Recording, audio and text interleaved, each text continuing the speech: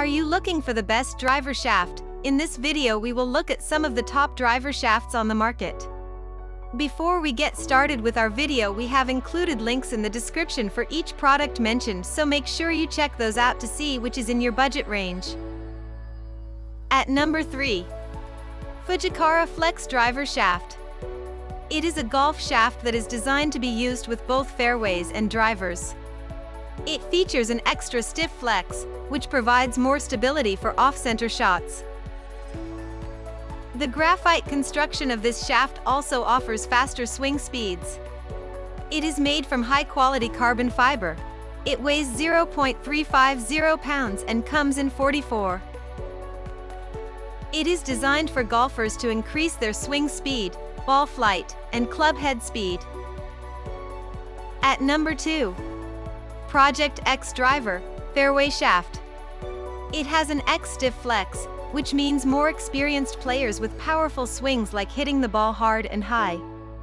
It is essentially made of graphite with a black finish. It has maximum stability and accuracy, making it ideal for long drives or shots off the tee. The shaft length is 43 long. The club head design features an extra wide sole with the weight distributed evenly to reduce twisting of the face at impact.